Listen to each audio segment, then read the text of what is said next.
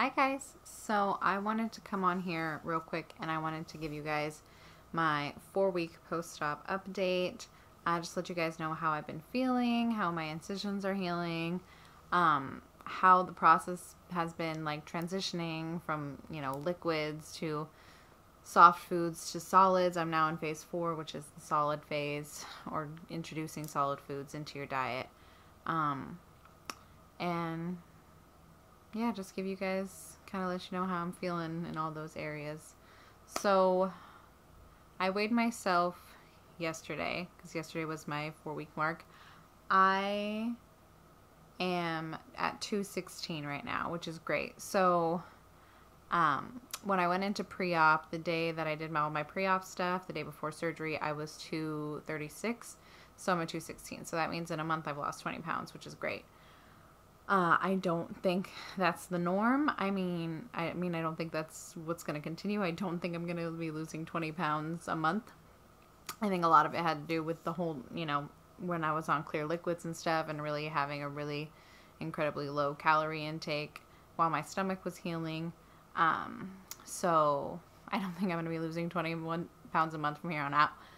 But um, it's still great. It's still progress. And from last year around like October, November, when I was 267, and then losing, being at 216 is really great. I'm, I mean, I'm completely, I'm thrilled. So I'm excited about that. I'm excited to keep losing. I am excited that I'm only 16 pounds to be like in the 100s. That's really exciting. I haven't been in the 100s since high school. So I can't wait for that. As far as what I'm eating nowadays, I got an email last Monday from my nutritionist through Mer- uh, Mexico Bariatric Center, um, basically saying, you know, if you're up for it, you um, now is the time to start introducing solid foods into your diet. So that's what I've been doing. Um, not, I, I mean, it wasn't overnight. I mean, I'm still, I'm still not fully on solid foods yet. Um, so basically, what a day looks like for me is I will make a green smoothie, like a high protein green smoothie, lots of leafy greens, power greens.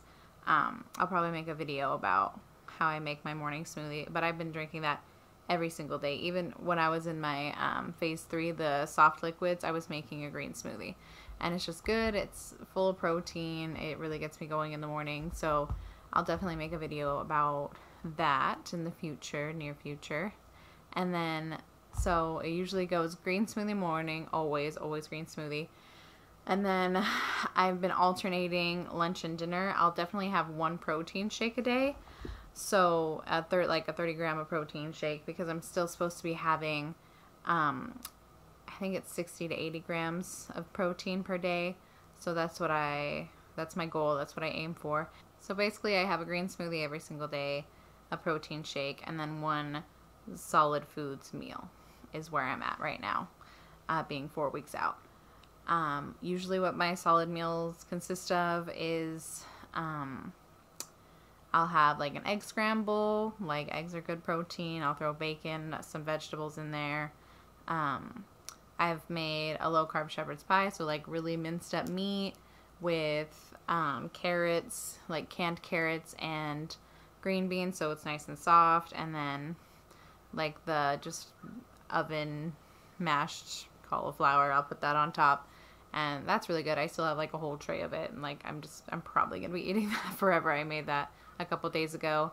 Um, I try to bite a chicken. I don't know if I can actually handle chicken. They say if you can handle chicken, you could pretty much handle anything. So maybe I'm going to try chicken tonight and see how it goes. Um, I did have um, some low carb toast with some high protein peanut butter on it the other day as well. That went good. Um, there's just certain things that are are good, and then there's some things that just really aren't. So for me, um, when I was in my soft food phase, I tried to make a baked ricotta, just a little like ramekin of baked ricotta. I tried to eat that. I couldn't it made my stomach so upset. And I don't know if it was from the ricotta or, or the other cheeses that I had in it, or if it could have been uh, the sauce that I put on top. So like I put like a marinara sauce, like a really smooth marinara sauce, so it would taste like, you know, like a lasagna or something. So that didn't sit well in my stomach. So I made a bunch of ramekins of those, and then I just gave them to a friend because it just didn't sit right with my stomach. Another thing that's not working out for me that I tried in my soft food, phase is beans. I don't know what it is. Um, my stomach just gets really like gurgly, and I get really burpily. Burpily. I get really burpy and I think it's just the gas from the beans. Uh, so I'm not eating beans right now either.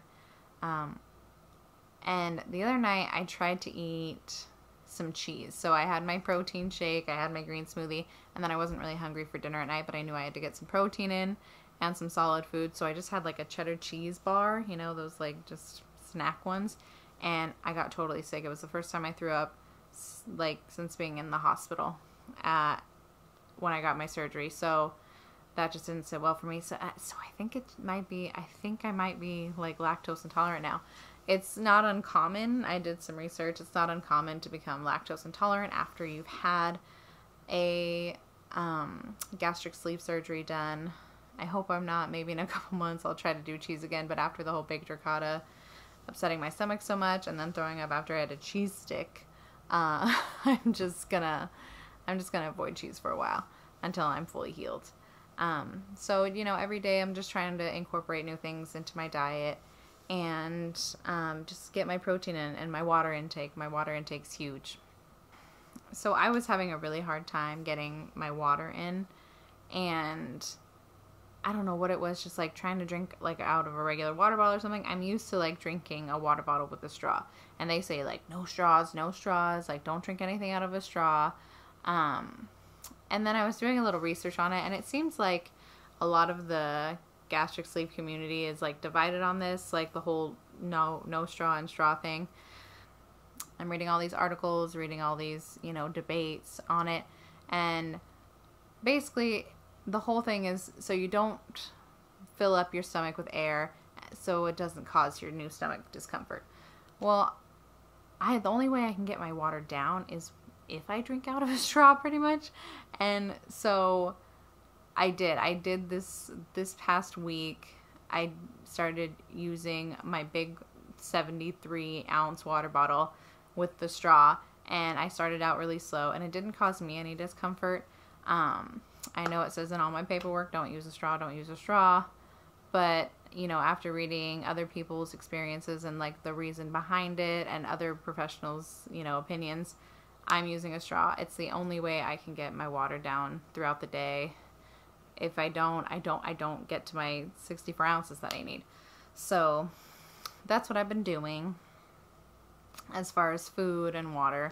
Uh, those are the big changes that, and big changes that have been going on and what I've been incorporating, what I've been doing. Um, my incisions are healing really well. I just uploaded a picture onto my Instagram, which is also VSG Jack, if you want to go check it out. Um, and I really wanted to just kind of show, I wasn't trying to do like a body comparison because I feel like it's too soon.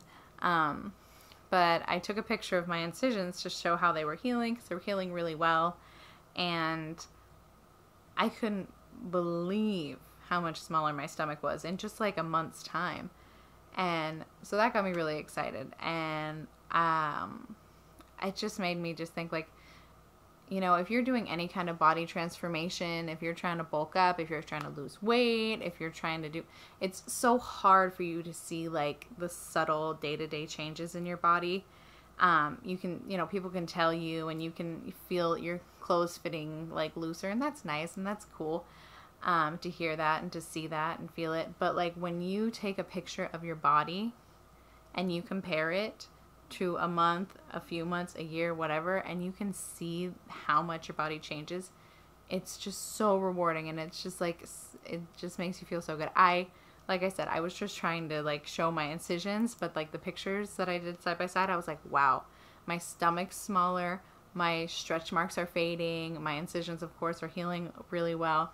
But I was so proud of myself, and I was just, it's just a great feeling. So if you're doing anything and you're, you know, you want to see those results, take pictures. Take pictures of yourself, take pictures of your body, and you'll be able to see those changes happening a lot faster than, you know, you would just in real life. I feel good. I'm feeling like I have a little bit more energy now. Uh, now that I'm incorporating solid foods into my diet, I, you know, during the whole like um, thick liquids and soft foods phase, I wasn't getting a I wasn't getting a lot of food in like quantity wise, and it wasn't you know wasn't didn't have a lot of like nutritional value. But now that I'm like incorporating, you know, leafy greens, proteins, um, actual meats, um, and stuff like that, I think that my body, I like I can burn more calories. Like I'm probably only getting like five to eight hundred calories a day. If 800's like a huge stretch, but I do feel like I have more energy. I was taking a lot of naps during the earlier phases because I was just tired. I just I didn't have energy because I wasn't my body didn't have anything to burn off. Um, another thing I want to work on more right now is walking. I I do enough walking. I'm getting like maybe like 7500 to like 8000 steps a day right now. Um but I really want to start getting up to 10,000 cuz I was getting about 10 or 12,000 before. They've been telling me since literally I got out of surgery like walking is the best thing for you right now. So that's what I've been doing just trying to get my steps in. I'm not getting a lot. I really want to start like walking my dog. But she is a menace and I'm still like not able to like lift 30 pounds or do anything like drastically crazy. So I want to start walking my dog, but um, she's a terror. Oh, speak of the devil. Here she is. She's a pup. She's gonna be one year old, so she's still kind of crazy and hyper, and she's a boxer, which are already super high energy. Um, so, okay, that is enough, honey. But um, I think I need to go start going for more walks or go for daily walks. And then once I hit my eight week mark uh, and I'm all healed up, I am definitely going to be taking this girl. All right, guys, I'm going to go play with my dog. But uh, I will update you guys on more, more progress and more weight loss stuff uh, I'll probably make a video next about my green smoothie that I make in the morning because it's really high protein and gives me a little energy boost. And because, you know, we can't have caffeine yet. Well, I'm not doing caffeine yet because I'm terrified of acid reflux and all that ever, ever since this whole cheese incident's been going on. But, um, alright guys, I will see you in my next video. Bye!